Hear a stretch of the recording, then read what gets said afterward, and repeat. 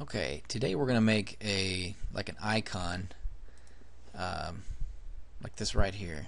This is my initials and uh, I'm going to show you how to do that. First in Photoshop we want to go to File, New. Uh, already have the width and height set to 500 by 500 pixels. That's good. Background content. Usually I, I leave this at transparent. You can go white or just whatever the background color is.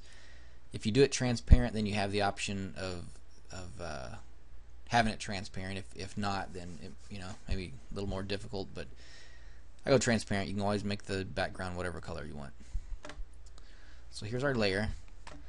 First thing I'm going to do is is go in here and look for a nice looking color, maybe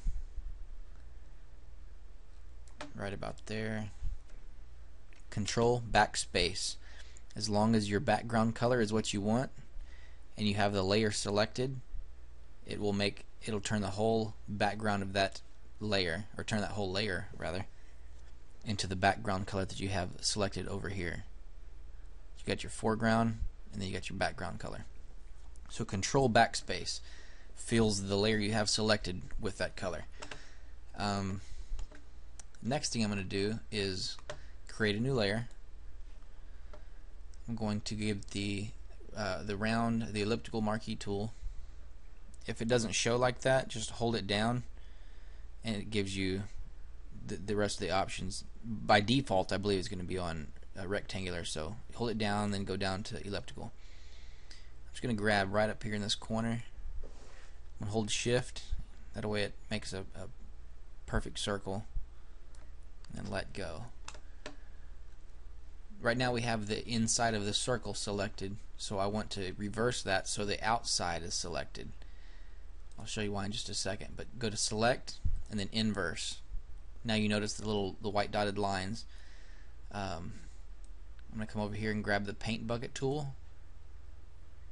I'm gonna click back on our default colors. Just gonna click up here in the corner. Um, Okay, now now we have that. What we want to do that's that's way too sharp. If you notice, and that's going to distort it real bad. But if you notice, it's kind of uh, faded, just almost foggy, just missed it in there. So with that layer selected, I'm going to go to Filter, Blur, Gaussian Blur, and that's almost perfect right there. I'm going to bring it down just a little bit, say about 80. That looks pretty good there.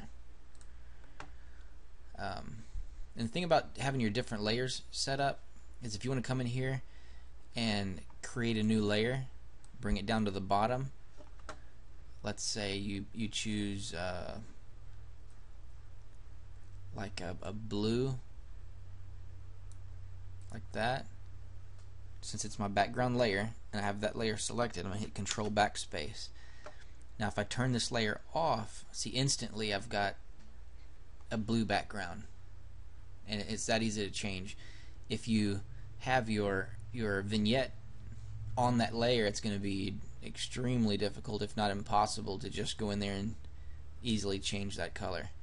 So I like breaking up everything into layers because you can turn them off you can turn them on. You can do whatever. Uh, I don't need that, so. Okay. Create a new layer. This is going to be our text layer. So I'm going to grab the text tool. I'm going to draw a large box. Uh, you know, this can be a, like a favicon on a website. This can be uh, an avatar. Uh, it can be a number of little things that you like. Let's say you put it down in the little corner if you do a little tutorial or make a video um, you can kind of have your own brand or your own little logo um, go to your uh, characters. I'm gonna go to Harrington because that's what I used on the other one. And lowercase let's see it's in black so I need to make it white. Okay I'm going to un unclick the bold. Okay, and just crank it up.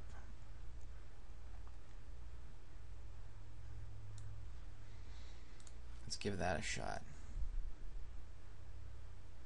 By the way, I, what I do is I, I, come up here and I grab my move tool.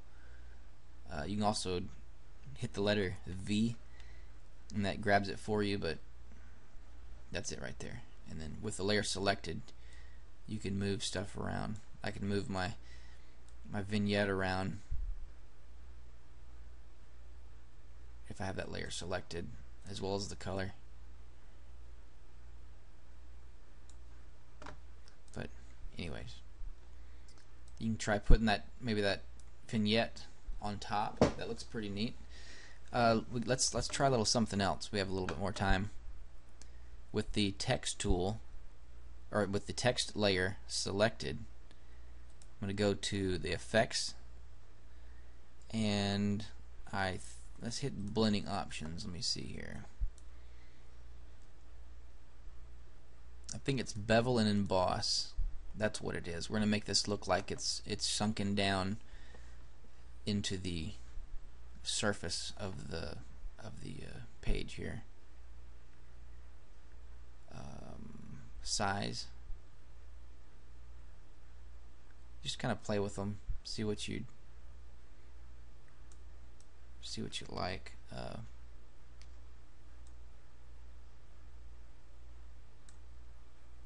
change the depth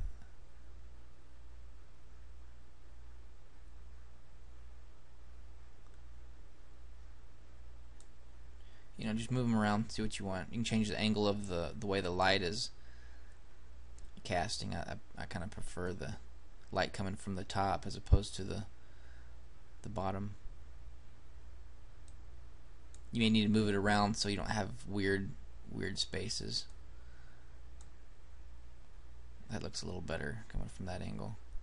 A little too soft.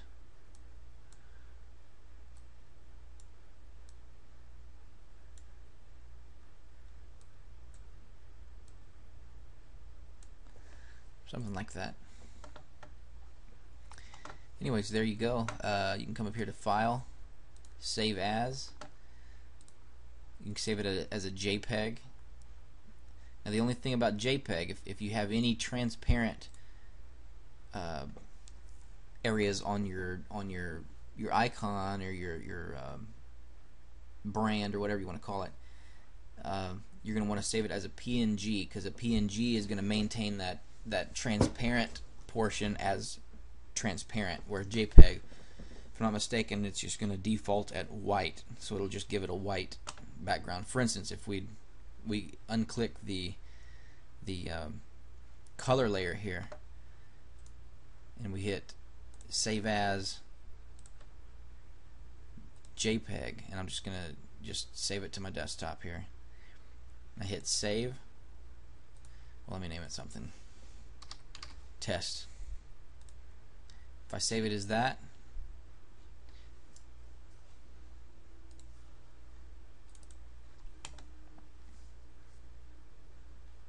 You notice what it did. It, it replaced all that transparent area with white, and and that didn't really didn't want that. So we'll go to File, Save As, PNG. Save.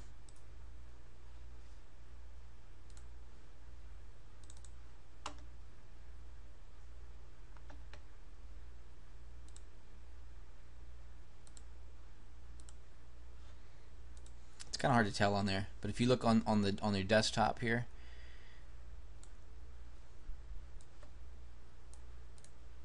you can see how you can still see uh, behind the uh, the vignette and through it because there's no color where this just made it a, a white background.